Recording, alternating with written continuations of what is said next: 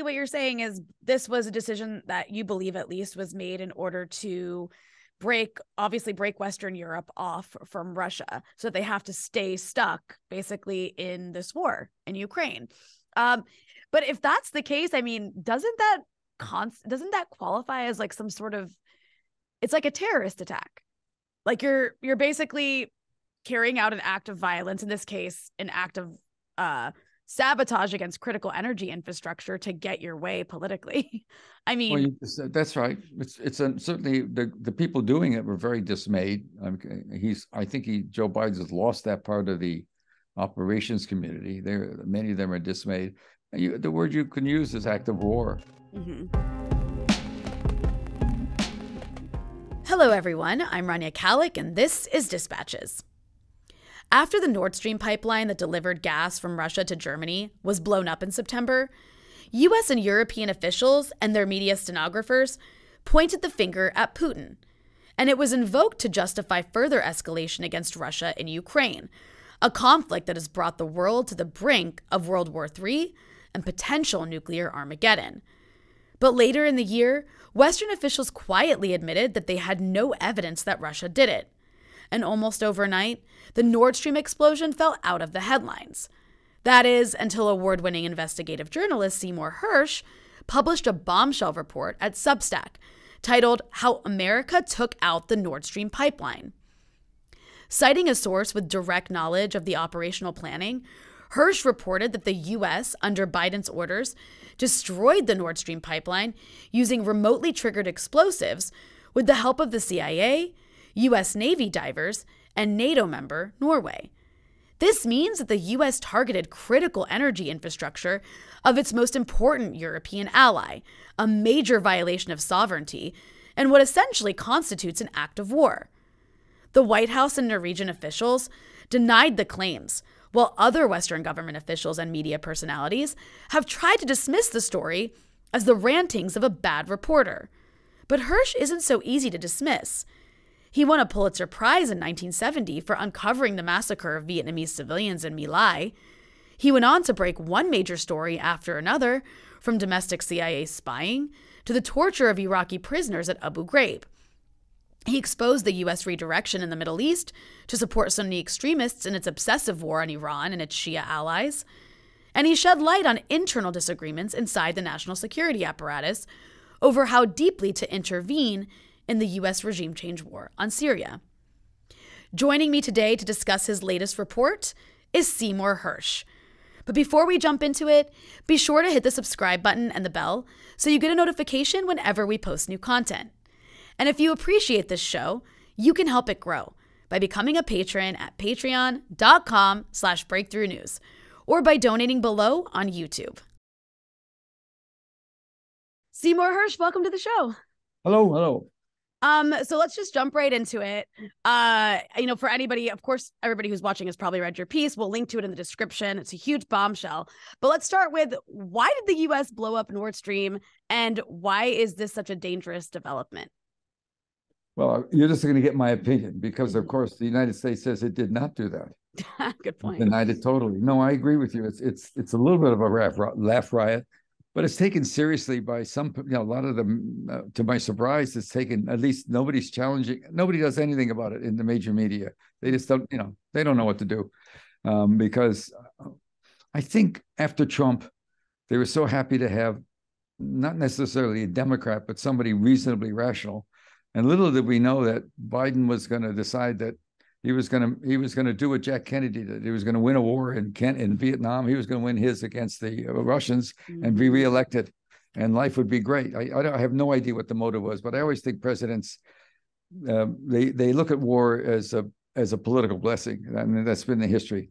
Mm-hmm. Uh, um, anyway, um, so but I can tell you what he did. I can't tell you. I mean, I know what he did. I can tell you what I what I uh, my guess is he did but you know, since look, their position is they haven't, they didn't do it, so nobody's talking uh, about. But uh, but one of the things I looked at was, um, uh, let me start at the beginning. Uh, okay. The story I wrote had its the story that that that I know had had its beginnings about two two months before uh, the actual invasion. in late uh, 2021, the Russians were moving troops in, and they were at an alarming number into Bel- Belarus. And um, and uh, Biden and Trump and um, actually Putin is the guy I'm thinking about. And Putin was um, um, dead serious. He'd had it with us, um, all the rhetoric. There's a lot of anti-Putin rhetoric coming out of the Biden, uh, Biden and his uh, foreign advisors, uh, Tony Blinken, the Secretary of State, uh, Jake Sullivan, the National Security Advisor, and um, what's what's her name? I can't even remember. Victoria Nuland. Victoria Nuland, who we all know did what she did in in 2014 mm-hmm. to overthrow the help overthrow. The Americans were definitely involved in what they call the MAID uh, operation uh, in uh, overthrowing the pro-Russian, um, pro-Russian, I guess, uh, leader of uh, Ukraine and install their guy in, who later became ended up becoming Zelensky. Got in later in an election. Mm-hmm. So um, there's no question where they stand on all things Russia. Uh, actually, I call that gang if you have if you have people who know children's books in in English. I call Blinken and Sullivan and Nuland. I call them Winken, Blinken, and Nod. There's a, a wonderful book about it. They're just like they're like children. Yeah. They think they can go around and and really uh, destructive children, making trouble for China, making trouble for Russia, and it gets them support. What they don't understand, there's a huge segment of the of, of the world more than half the population supports the Russian Chinese side uh, because America is seen as it has been since World War II. Um, uh, well, it's seen now by a lot of people in the world as as basically um, a predator. I mean, we're we you know, yes, Putin did a terrible thing, uh, starting the first, the most bloody war we've had since uh, World War II in in Western Europe, no question. We had a war in the Balkans. We had the uh, the Chechen War, but this is really bloody. You, you can't you got to fault him for that, no matter how much he was provoked, and he certainly was provoked. Um, but you know, we're the country that responded to the uh, crazy Muslims, uh, Al Qaeda, et cetera, coming out of Saudi Arabia. By we responded to that by attacking Iraq, mm-hmm. whose leader, wacko, equally crazy, um, Bashar Saddam, but he was also incredibly hostile to the same people that uh, that burnt knocked down our house. And then they moved on to bashar assad who's of course his father and he both also hated radical muslims. So it's just it's just sort of bewildering the, the zigbad zigbad we've done you know? But but so biden comes in and every president gets in as i said wants a war and this you know i guess it fit. He wants to be reelected. The party's uh, ambivalent about it the question I have is why did he do what he did in late September? But I'll start at the beginning because I'm sure you told you've told a little bit in the opening. Yeah. What I Please. wrote about was the fact that two months before Russia invaded, uh, Jake Sullivan, as the head of national uh, national security advisor, convened a meeting of uh, um, of the CIA, NSA, State Department, uh, the Joint Chiefs of Staff, the Treasury Department. They supply money uh, all that stuff in the in a, in a in a in a special room in the White House uh, across the street in the executive office building of what to do. And at that time, the issue was: uh, is there something that we some something up our sleeve that we could have something that would convince the Russians not to go? I'm not talking about a nuclear threat. And so they had a debate, and and I actually used some of the words that were sort of trying to warn warn people in the White House take this seriously. The, uh, the, the questions was the question has as put to them. I don't know whether by Sullivan or somebody from the government was: Do we want something that's a reversible or something that's irreversible? A reversible option would be sanctions and stuff like that. And you know, you can ask uh, ask Fidel, the late Fidel Castro. We've been we've been sanctioning Cuba since 1961. Now, do you want sanctions, which obviously didn't work then and hasn't worked against Russia particularly? Oh, I forgot to turn my phone down. Hold on. No worries. I have to live with it. I'm sorry. I'll hide it. I meant to turn it off. Anyway, um, and so um, uh, uh when the option was, of course, let's do something irreversible, kinetic kinetic, bomb something. So they by January they came up with the idea. Yes, maybe we can blow up the pipelines if that's what you want. That was the, there was signaling going on. That's that's the recommendation. At least there was signaling. I don't want to get into what I know about anything, because um, uh, the way I, I, structured it, there's no reason to think I know anything more than I wrote. Anyway, um, I'm talking about protecting sources, which is a big deal. Mm-hmm. and um, uh, so eventually, this idea, and they told the White House in oh mid January, something like that. Look, we we got it. We can do something. Just want you to know it's possible. It's going to be hard, but we've got an option. And sure enough, it, only in this White House, this this place, this dim-witted White House, within a week or so of that, uh, Nuland, in a while, in a, just she wasn't asked the question. She just blurted out, uh, "Oh, some background. You, you you have to understand that Russia has a lot of gas and oil, mm-hmm. and uh, Russia has been supplying uh, gas to Western Europe since in pipelines. Well, the Kennedys back in the in the early '60s, the Kennedy administration was worried about Russia because we were always anti-communist. We came out of World War II needing somebody to hate, so we had Stalin, and then we had uh, Khrushchev. Then we I don't I don't know about Gorby. It's hard to hate him, Gorbachev, but we certainly hate Putin. So we came out of there having somebody to hate, and uh, uh, the Kennedys always worried about um, uh, what they called the weaponization of Russian gas and oil to m- make Germany and Western Europe, Europe happy. They saw that as a weapon, a political weapon. And so they always worried about it. That was one of the things. On the other hand, we always told NATO, uh, we helped support, we helped build up Western Europe after World War II into little democratic models. Mm-hmm. And uh, we ended up supporting Germany once uh, once they paid the dues for having murdered, raped, and and destroyed much of Europe, which they did. Uh, Willy Brandt was particularly important in that, and they call it Ostpolitik, which the idea is he's told Western Europe, "I'm going to make a lot of money, and I'm going to trade with you. I'm going to make everybody rich, and we're going to be great partners, and you you're going to let us into the club." Took a long time before they got into the club. Right. France hated. I mean, after the war, are you kidding? Uh, there was a lot of hatred, but the fact that Russia and and and and uh, Germany were close, just in terms of trade, always bothered us. It bothered us in the Cheney Bush uh, uh, uh period after uh, after 9/11. Condi Rice, who was then the Secretary of State, I, have seen tape after tape of her saying, "We must stop the Russian gas and oil; they can't can't come." Cheney, when when Biden was vice president, he headed a panel had the same idea. We've got to worry about this. So this is not a new idea. He did not think of something new. We always worried about the Russian control, particularly after the first pipeline, the Nord Stream 1 and 2. Nord Stream 1 was put up in the play in 2011, and it was a bonanza. It pumped gas like crazy from Russia at cheap prices into Germany. Uh, Germany industry ballooned. Uh, they had so much gas, they were selling it downstream, they call it, selling it to other purveyors, other companies.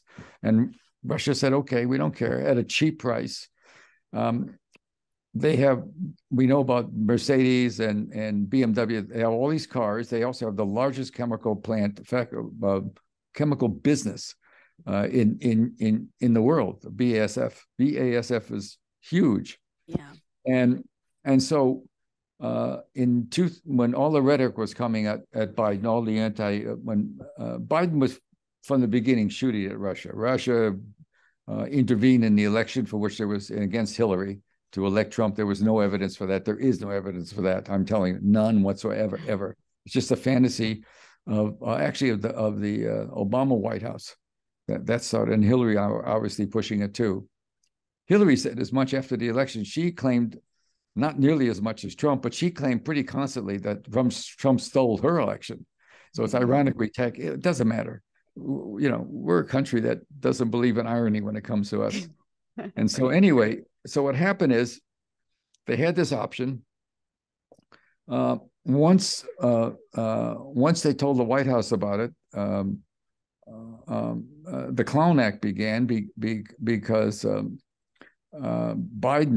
uh, Biden actually, um, the undersecretary Victoria Nuland had said it in late February, late uh, January, about the twentieth of January. Mm-hmm. Apropos of nothing, she said at a when she was talking to the press, and Nord Stream two, the one that had been completed, but it had been sanctioned by the Germans at our request. In other words, it was sitting there 750 miles coming from all the way across the Baltic, all the way down to I don't know which direction it is on a map. It looks down. um, coming from the from Russia from um, uh, a Russian port near uh, St. Petersburg, all the way down to Germany, one loop, 750 miles. And when it was sanctioned, it was full of gas. They were ready to start shipping, and so they they stopped it full of gas. That's why there was so much gas in the explosions. And um, once she she said we will be able to stop Nord Stream two by one way or another, or one means or another. Mm-hmm. And about two weeks after that, maybe twenty days later, Scholz, the uh, the the under fire chancellor, right now he's pretty much under fire chancellor yeah. of Germany, uh, met with uh, Biden in the White House, and he was asked two weeks before the invasion began in early February of last year. Um, uh, he, Biden was asked about uh, Nord Stream 2 coming online. He said it will not happen. And somebody said, I can guarantee you that. And somebody said, Well, how are you going to stop it? He said, We know how to stop it. He said, I can tell you. So at that point, um, the guys in the mission, and these are pros, this is a very sensitive mission. They went into Norway right away. I don't know if you've followed all the stuff I've done in Substack, but after that piece, I've done a couple more pieces. One of them was all about Norway.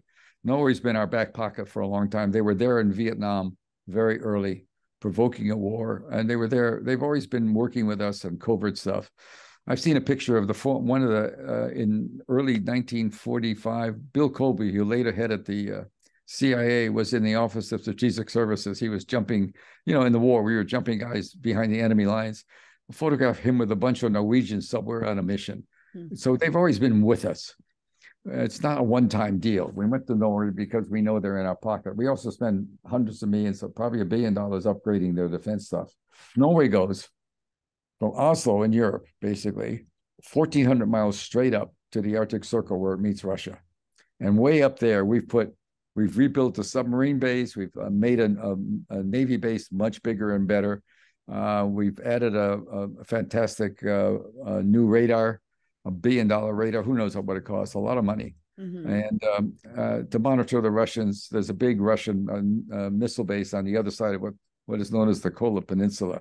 Boy, there's a lot of stuff up there. I've never really looked at a lot of islands that are just must be frozen all the time. I have no idea who owns them. Anyway, Finland's up there somewhere.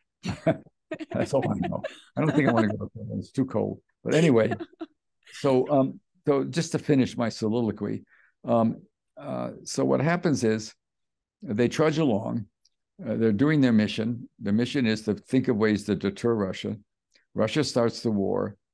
Uh, they finally uh, find a way to put the problem with going underground and putting mines underwater in into the Baltic Sea is there's no oil there. There's no oil rigs, and so a bunch of guys in in you know a, even on a Norwegian ship suddenly jumping off and going down would be seen. And the Russians, of course, uh, they actually have unmanned submarines that patrol. I mean, it's a whole new world of patrolling and uh, and and spying on the other side uh, with uh, uh, devices that take no human beings. You know, what can I tell you? It's all been it's a wonderful world. You can spy on anybody. Anyway, so they found a way. There was an exercise for the last twenty one years. They did it last year too. Uh, there were the the Baltic Sea is part of the American NATO um, it's a NATO. It's controlled. The sea. The sea has. It's, it's it's surrounded by NATO countries, and the American Sixth Fleet is the boss. The commander, the admiral of the Sixth Fleet, is the commander. And so a, a deal was worked out that in their next next uh, every summer they have every June, late May and June they have an exercise. They would add a uh, a mining exercise to it. Nobody cares about mining, dropping mines. It's not a dramatic business yeah. When you get out of the Navy Academy, the last thing you want to go is is to the mining command. You want to be a SEAL, or you want to be a pilot, or you want to, you know, be a sub run a nuclear submarine. You don't want to be a, guy who heads up a unit that drops mines. but they had an exercise going, and in it they managed to plant the plant the bomb. Uh, on all plant bombs on all C4, very enough to each blow up a whole major building in New York. I mean, really powerful.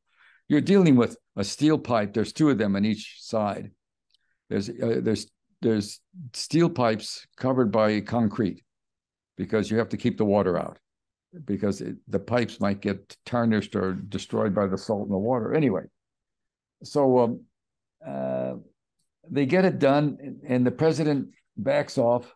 He doesn't want to do it at, during the time of the exercise because that'll look too obvious. So three months later, three and a half months later, in late no, late September, the 26th, he says go, and he blows up the pipelines. And the, I've looked hard at what was going on in in uh, in the F in the war in the Ukraine then. Uh, as you know, Russia got off to a very slow start. I, I, uh, this may be just American propaganda I'm reading.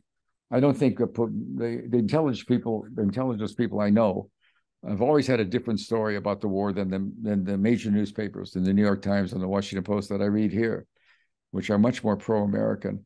Um, they never thought Russia ever wanted to go to Kiev. Remember, they circled Kiev. They thought that Putin's was a great idea his generals gave him because there were 60,000 troops in Kiev. And as long as you had the troops there, the Russian troops around the city, they were locked in. You yeah. could keep them away. And I think he thought, I did think he, he would go to Donetsk and sweep through everything. There was opposition. It didn't work as well as he wanted.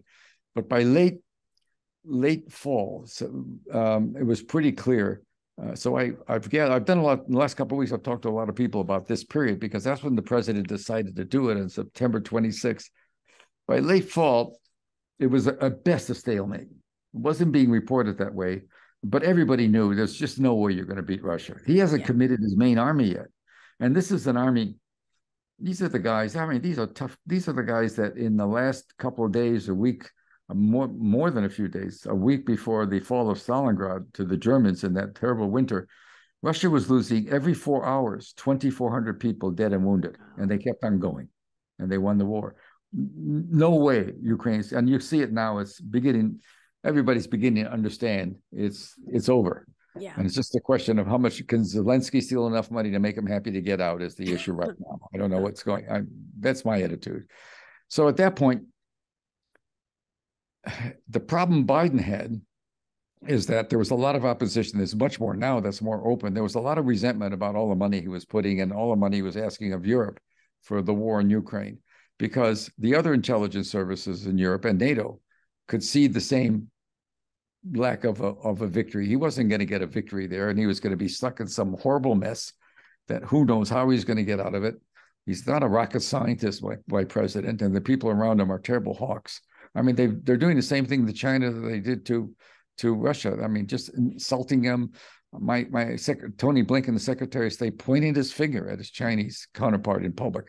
And I can tell you from people that take, I know people that in the State Department that take, you know, American senior people don't know China to China for diplomatic meetings, and they say no such stuff. Don't ever point at them like that. And and and anyway, um, it's appalling to me that we yeah. have such terrible political leadership and that the Democrats are so frightened of another Trump coming that they they won't touch Biden. The Senate has the Democrats run the Senate. They haven't said a word about it. Chuck Schumer, the chairman, and when I was doing stuff on Vietnam for the New York Times, the Democrats in the Senate were against the war by including many moderate Republicans, uh, but no more. Anyway, the bottom line is, here's the thought. Here's what you want to know the, my thinking, it's not, it's the thinking of other people I know who will never go public, mm. is that he decided that he may lose the Germans on this one because another winter's coming, and they uh, and they didn't want to give the money he wants. The the public there is openly now. There were marches last weekend in in uh, Berlin, big marches, and in other cities against the war.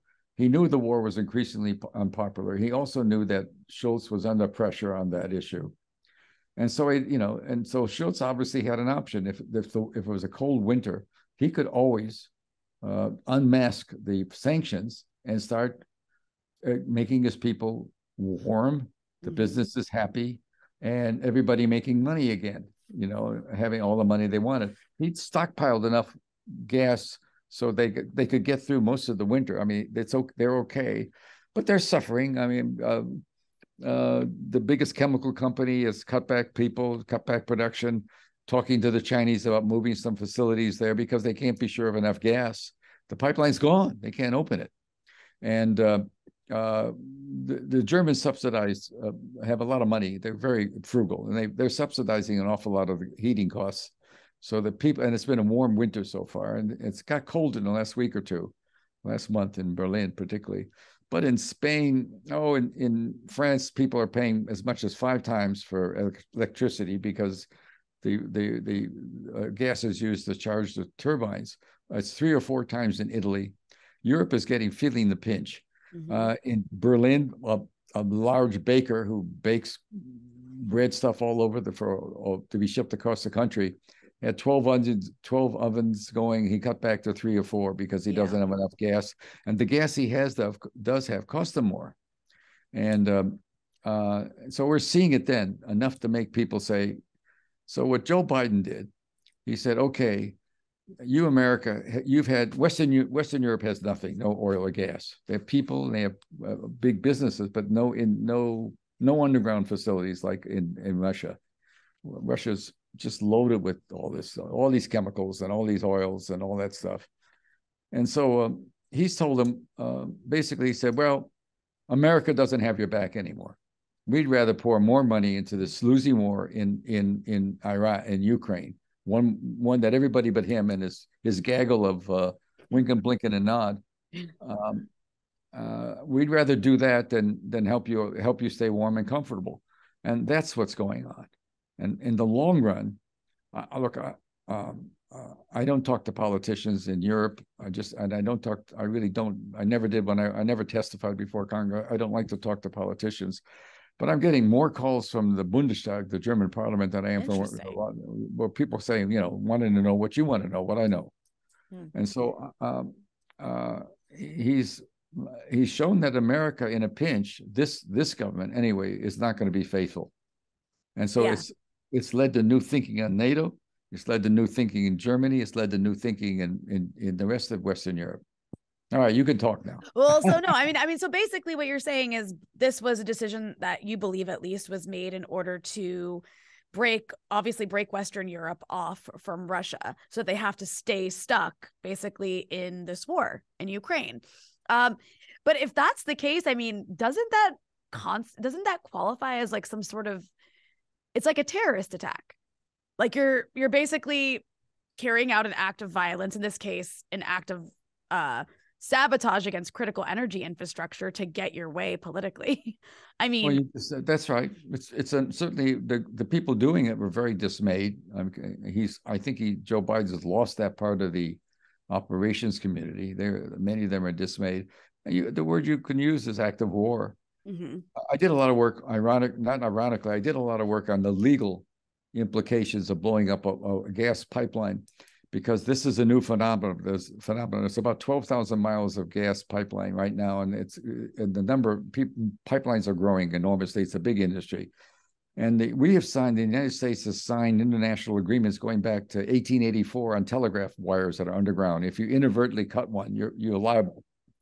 And so there's also there's no at this point, there's no law because nobody's ever done what he did before, blew up a pipeline. There's no law, at least not overtly. Maybe it's been done covertly by you know, uh, in in uh, in wartime and all that. But uh, but the first case that comes up, it'll produce law because any any judge will rule it's a criminal activity. And so he's also got a problem if he admits it that he's going to have you know there's in one year, one of the years that uh, uh, with Nord Stream one uh, which 51% is owned by Gazprom, which are uh, you know the oligarchs that are certainly in the thrall of Putin.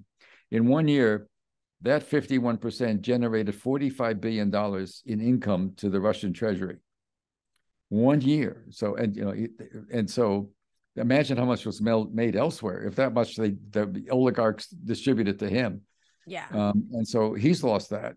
And uh, there's and their stockholders. It's, it was a, the Nord Stream was a stockholder company. Forty nine percent of the of the pipeline was financed and owned by four European countries, and they, so America, if he acknowledges he did it, there could be incredible legal suits filed by the yeah. stockholders.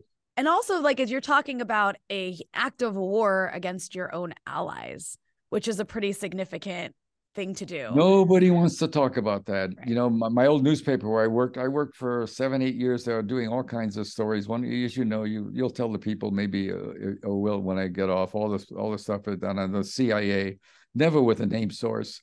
And all of a sudden, the fact that I'm not naming a source is a really yeah. You know, speaking to that, actually, I did want to ask you um, to respond to or to, to give you an opportunity to respond because I'm sure you saw uh, Ned Price calling your report he called it utter and complete nonsense that should be rejected out of hand.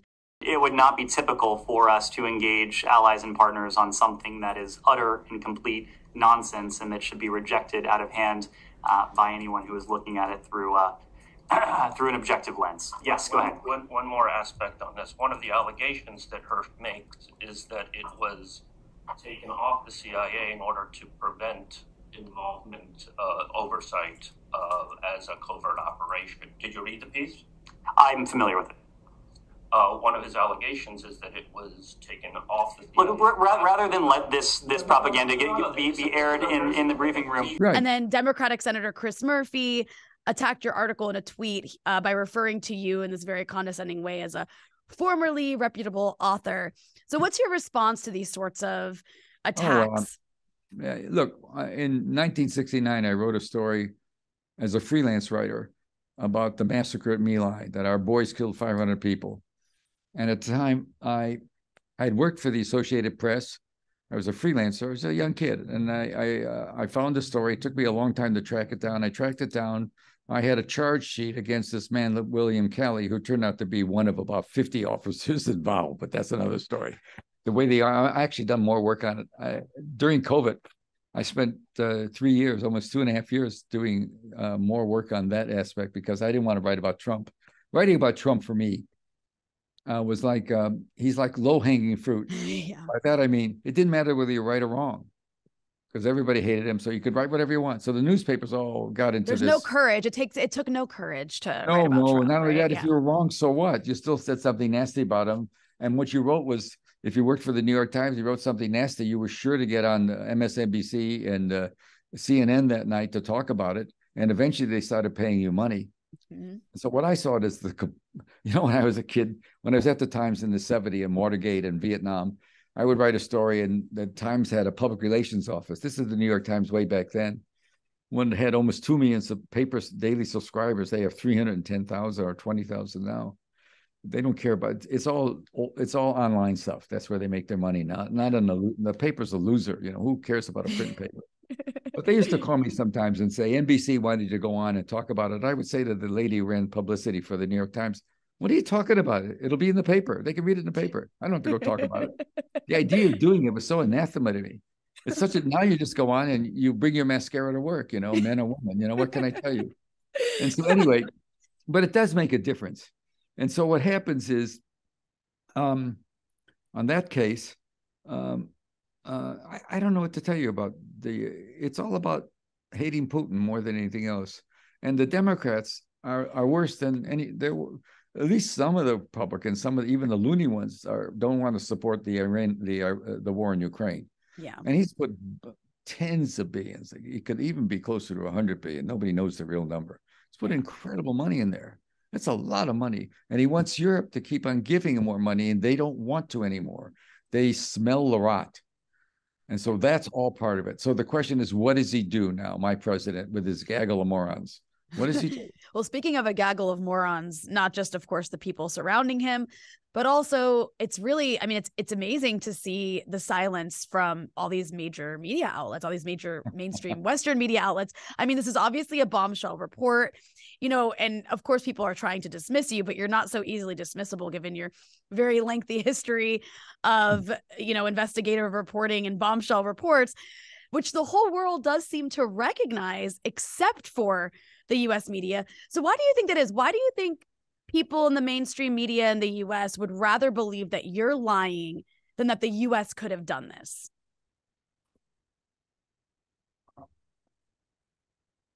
I I, don't know. Probably also mean, hating Putin. Who knows? I worked at the New York Times for seven or eight years in a tough time. And when somebody else had a good story, we chased it. We didn't worry about, you know, and you particularly, I mean, it's not as if, you know, I was saying when when when I uh, when I did the story about My Lai, just to say this is this is nothing compared to when I had I had this massacre.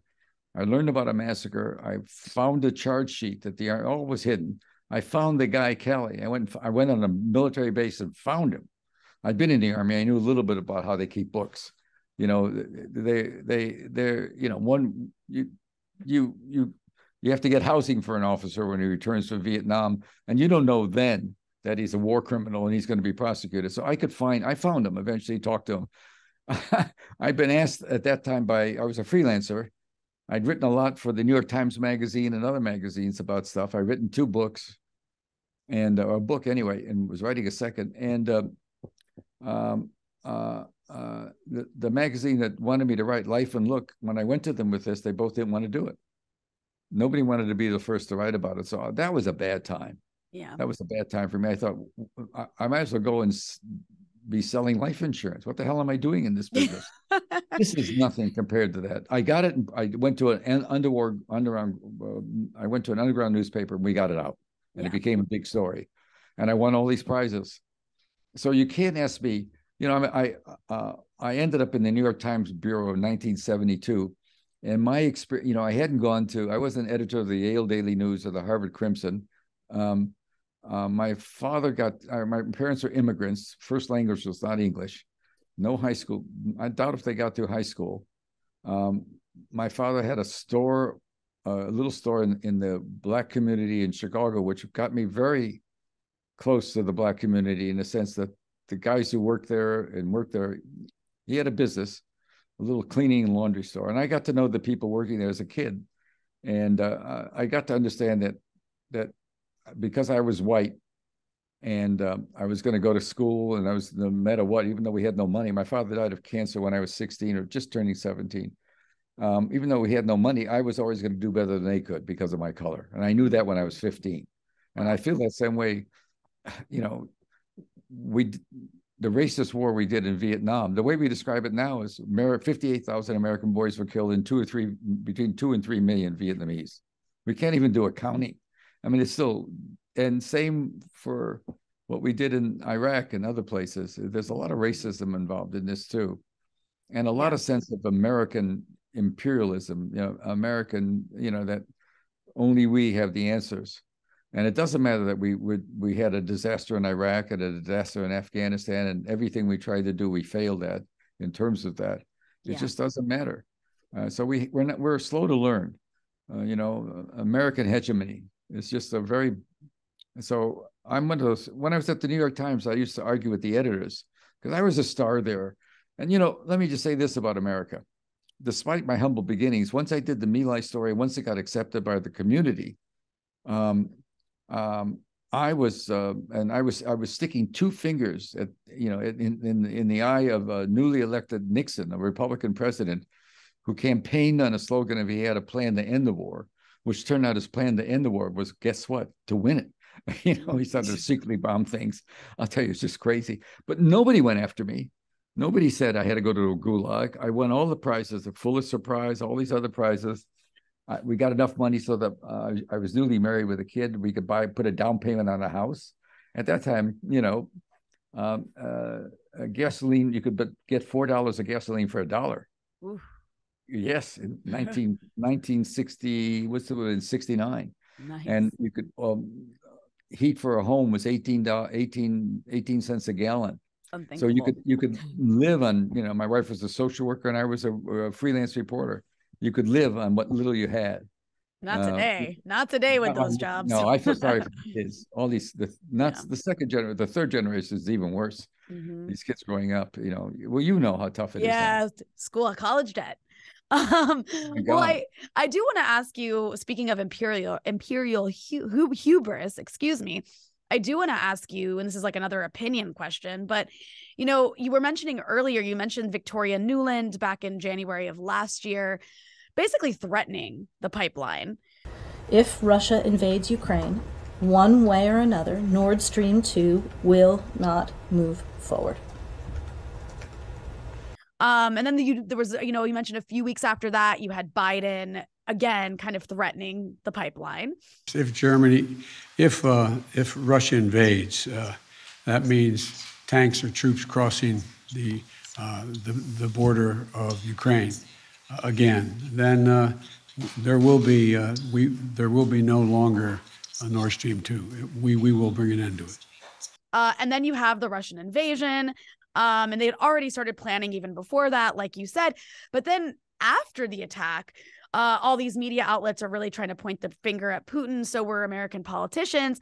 But then you had something interesting. You had these these huge denials, like especially now after your report comes out, you have these denials. But at the same time, you have this parallel gloating. Like you had Antony Blinken calling it a tremendous opportunity. There was that famous sort of moment on video. Ultimately, um, this is also a tremendous opportunity. It's a tremendous opportunity to once and for all remove the dependence on Russian energy and thus to take away from uh, Vladimir Putin the weaponization of energy as a means of advancing uh, his uh, imperial designs.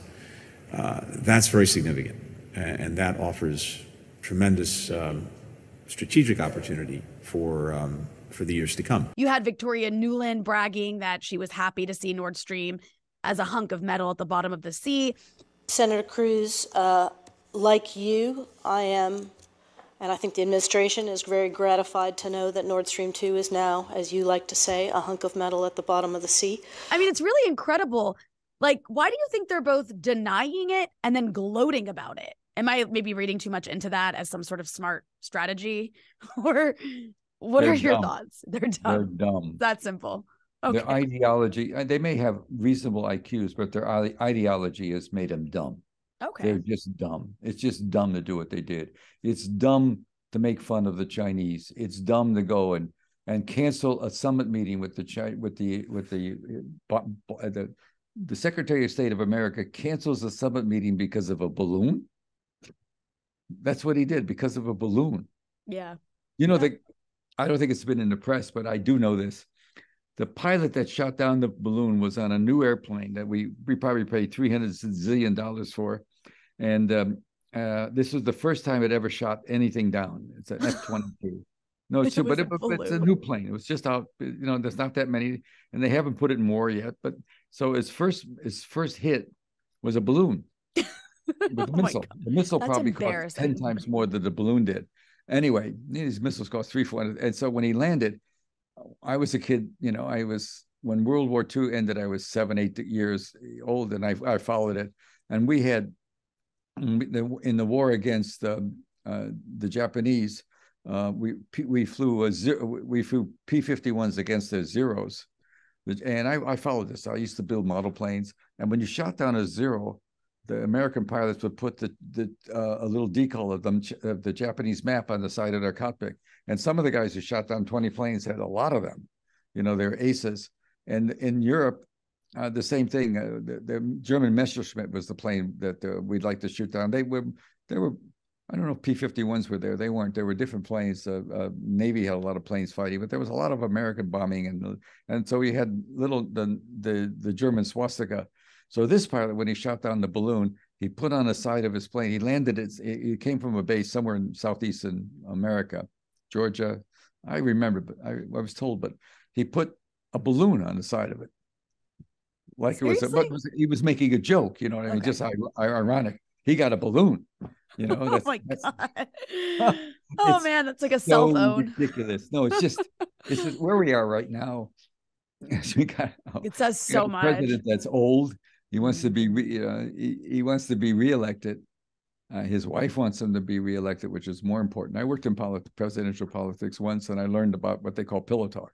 Mm-hmm. Man, don't cross the wife. It's just brutal. well, you know, you wrote, obviously, you remember because you wrote it, but the piece that you wrote on Syria back in uh, 2014, I think it was, that caused so much controversy was all about these like fractures inside the national security a community about how to how deep to get into the regime change plot uh, in Syria, uh, because obviously some people were more hesitant because they understood there was extremist elements inside the Syrian opposition. The point is, is that there was this somewhat of an internal debate taking place, and then when it comes to Ukraine, the stakes are so much higher than Syria because the stakes are obviously World War III and potential nuclear war, right? So my question Absolutely. for you is, my question for you is do you have a sense of how much of an internal debate there is inside the government right now about how deep to go with Ukraine? Is there any pushback, like perhaps there was with Syria? Any hesitancy to continue pushing forward? I, I, I think from some elements of all places, the intelligence community there is. Mhm. I don't. Th- I think the the military is. I mean, it's. I mean, we're we're not. We don't happen to be, be blessed by brilliant people running the Joint Chiefs of Staff these days. The last two guys have been, you know, um, pretty mediocre. I mean, but they follow. They they they they they hew the line. They follow the line. We don't have any real opposition. There's elements. There are elements. There's actually, you know. So I'm told there was there's a group that's been assigned to plan the peace treaty we have to write after Russia after Russia loses the war for Ukraine. Their peace treaty. They're actually doing that. They're drafting that document, and so it's, you know, it's. I don't, no, I don't think there's any. I don't think anybody's. Uh, look, the, the U.S. Congress is a, supposed to be, a, you know, a- in in in in the papers that were done you know the brilliant papers that were done in by the colonials the you know the the constitutional papers the, by the jefferson and madison they had arguments about the power of the state Yeah. it was always designed that the congress would be a counterbalance to the executive and the courts would be a counterbalance to those two and it's gone now i mean the courts have gone crazy they're they're pretty extremist i don't know if i don't know what's going to happen with the court on social issues here they don't have much to do with the war Yeah. you know they supported the illegal detaining of um, of uh, they supported Guantanamo. So did Obama. That's why I always I always faulted him. Two days in office, he said, "I'm going to stop Guantanamo."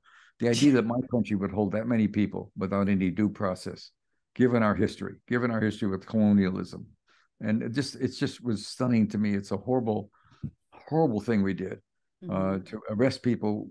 And I I do know that there were times in that early days of the war in the Afghan, if some guy, you know, uh, whatever game they played, lost two cows to his neighbor, he would return him into our CIA as as a possible I uh, uh, Al Qaeda, and Yep. we would put him in bag, put him, wrap him up, and send him there.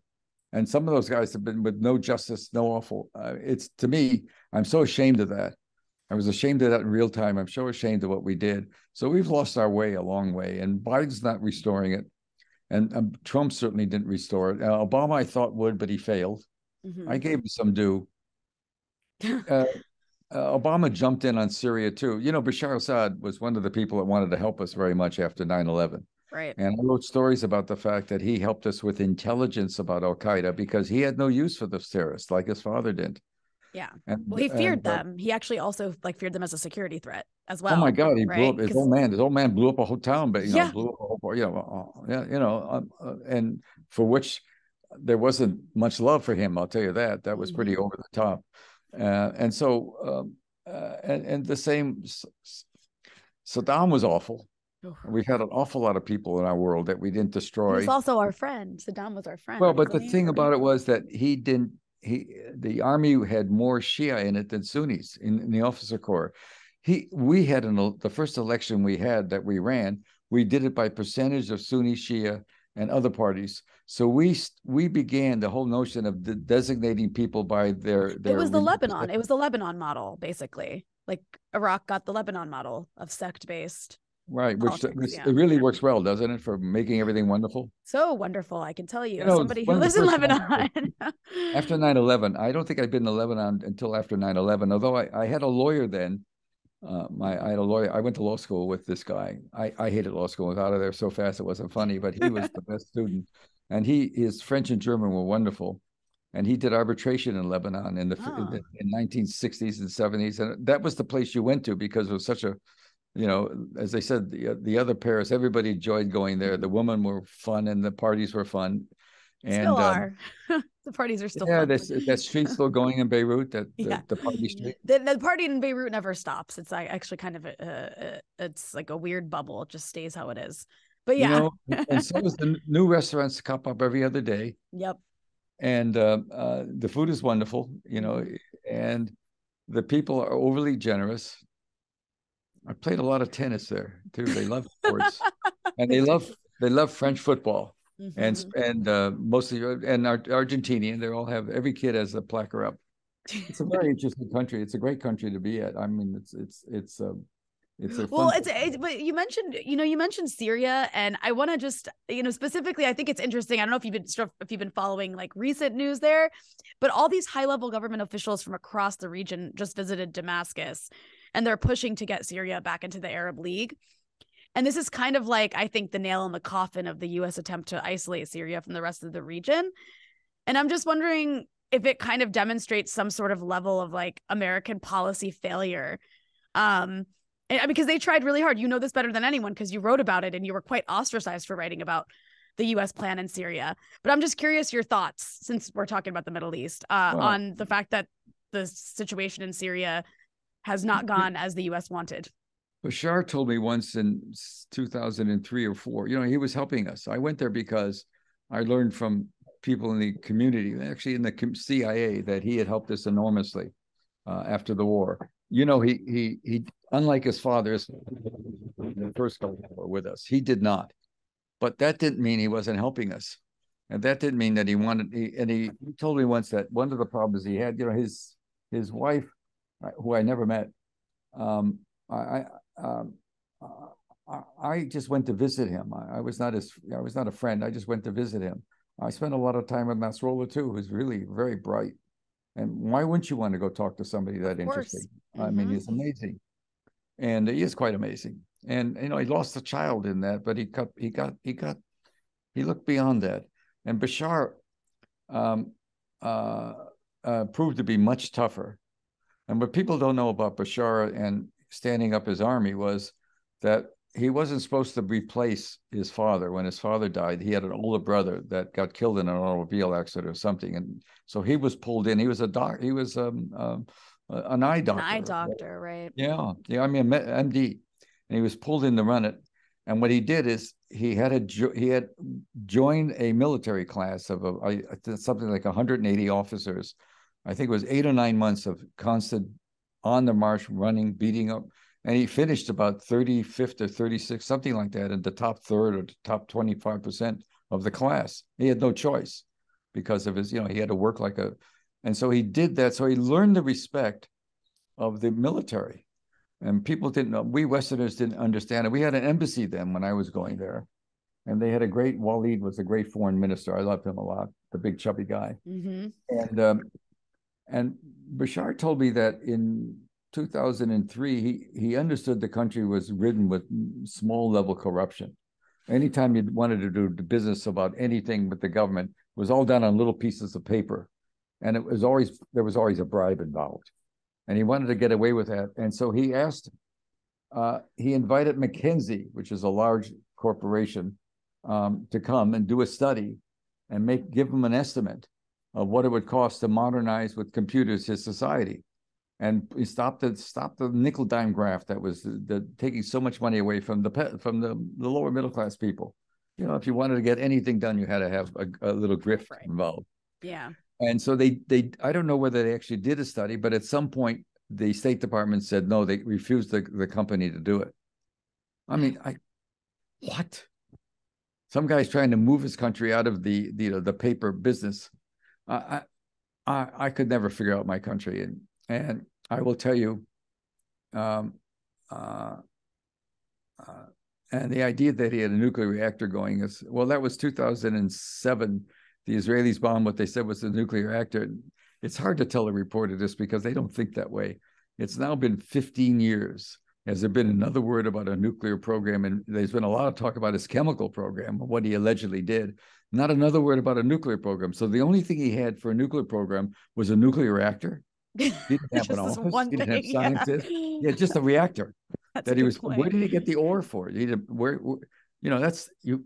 You have to have a whole big bureaucracy to handle nuclear materials, even ore, even because it's radioactive. If that's it, anyway. I just nobody looks back at that stuff. I wanted to just briefly, I don't, I'm not sure uh, what your take on this is, but I know that Sweden was apparently refusing to release information about its, its investigation into the explosion. I'm just curious your thoughts on the potential role of Sweden and Denmark, um, or Where the the Nor the Norwegians found a shallow area for us in the Baltic Gulf. mhm. Go- You know, and by the way, it was near an island called Bornholm, which was controlled by the, the Nazis. And there was Oh. terrible fighting, and the, the sea of the of the of the there's uh, submarines and airplanes. There was a lot of war going on there. The sea is littered. The Baltic Sea is littered. So um, they had to find a place, and they did find a place off an island called Bornholm, which is um, uh, right off uh, Denmark. And at, various times, the pipelines encroached into the uh, territorial waters of both Sweden and and and uh, Norway and um, Denmark. And so, actually, Bornholm's part of a, a Danish island, and the Danes were original signers of the uh, of the NATO agreement along with Norway. They were both the only 19 signed the first the first time in 1949, and very hawkish, uh, Mhm. anti-Russian, very close to British intel. They work together. Uh, and they're, they're competent intelligence services. They both do much more than they tell anybody they do for the West, you signal stuff and all this secret stuff. And um, uh, uh, let me narrow the question for me. I could Well, on I'm just now I'm just curious about like, do you think, they- they're the, you think- the role, the role think of Sweden, Denmark? potential What do you think they know about it? I don't know. I don't know. I'm asking you. I don't know. It just seems it Well, seems unlikely I'll just say that they four would. days after the four days after the the explosion, there was a White House meeting, and Jake Sullivan, the national security advisor, who seems to be taken seriously by the press corps for reasons I cannot fathom, and I just can't believe it. But he's giving the press corps, and the, the it's four days after the explosion. It's about a oh, about there's a the the White House tapes all these things, and you Yeah. It's about an hour thing, but 12 minutes go by before somebody asks about about the pipeline. And of course, nobody and none of the people covering the White House either know or care or don't know that the, what Biden had said and Nuland had said earlier, because nobody's ever asked that question. They don't ask mm-hmm. that question. Well, he said he was going to do it. Maybe it, it's happened now. It happened in one state. The one that with Ned Price you mentioned attacking me personally. Was that you who said that? I could. fuck- Yeah, yeah. I That mentioned was that. that yeah. was because somebody asked him about that briefing. Sam and that, you can't yeah. do that. You can't say that the president said he was going to do it. That Mhm. makes you a bad guy. Uh, anyway, so he was asked about the pipeline and was it did he think it was Russia? And he very seriously said, "Well, you know, Russia, the way it's behaving makes it seem, you know, that's the way they're behaving." He said, "This guy who who ran the operation from the White House point of view." so finally, incredible. Finally he says but I, we are doing denmark and sweden are going to do a study of it and let's see what happens. They're going to do a study. Note the united states is not going to do a study of it because he's, the president is not going to task that's the formal word you use the uh, the intelligence community because he he knows what the answer is. So he's not he never asked but they're going to do a study. So a month later sweden and norway sweden and, and denmark come up with a study uh, I think it was like the incident took place the 26th. I think their study was the 16th. So three weeks later, come up with a study. And here's what they concluded that indeed there was an explosion underground that triggered the gas. And it, it had every all the makings of some sabotage. That was their finding. Yeah. And after that, I said, okay, if these guys aren't aren't to take, this proves it. Well, I, I mean, how could they? Look, I'll let them worry about it. Yeah. I'm having a drink tonight with somebody from one of those countries, by the way. Oh, so We'll maybe see. we'll we'll see something by you soon, maybe about some more. No, I'm doing something. I do one. I've done a couple pieces since on Substack. I'm doing another one tomorrow. That'll be fun. Okay. I did pieces just pointing out that Norwegians have helped us a lot. And what else? Right. I'm just, you know, it's a great. Uh, I got to tell you, I'm my own publisher. I still use the same editors and that I did for the London Review and the, the same people that were Oh. fact checkers for the New Yorker. Yeah, well, you have to same standards. hmm Um, uh, and I have a good editor, really smart guy, and he, you know we he, I, we piss each other off a lot. Anyway, the point is that um, uh, I don't have to have a system. I don't have to have a publisher and an editor. I'm my own publisher. And the response, I will tell you, they had a million hits in 20 hours on that story That's incredible. because, and the the mail I get, people know they're not getting the truth. Yeah. Yeah. And I had a friend, I love to say this. I had a friend in the oil business, a very interesting, bright friend. And I think I mentioned after I, the story came out, he, he sent, he called, no, he sent me an email and he said, uh, my dear friend Seymour, he said, uh, you have become the master of deconstructing the obvious. Mhm. That's a good. That's a good way to be described. That's all I did. I asked the question a month later. I said, "Come on, who did it to somebody?" And he said, "Well, of course we did it." And that started me going. Took me months to do the story, though. All right, Well, goodbye, goodbye. Seymour Hersh, thank you so much for joining me.